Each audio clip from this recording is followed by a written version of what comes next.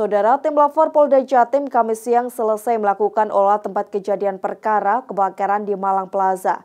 Petugas membawa sampel untuk diuji guna mengetahui penyebab kebakaran.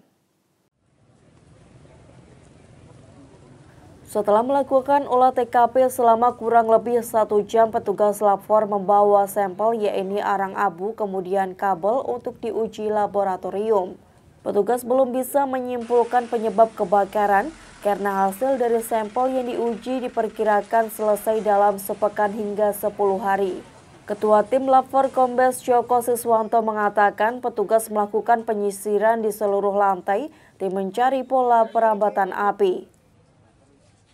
Jadi gini, itu uh, lapor tujuannya cuma dua mencari lokasi api pertama kebakaran dan penyebab. Namun untuk mencari lokasi maupun penyebab kondisi masih panas. Kita nomor satu safety, ya belum bisa masuk karena masih panas. Khususnya di lantai dua maupun di lantai tiga. Ini akan kembali lagi. Insya Allah besok.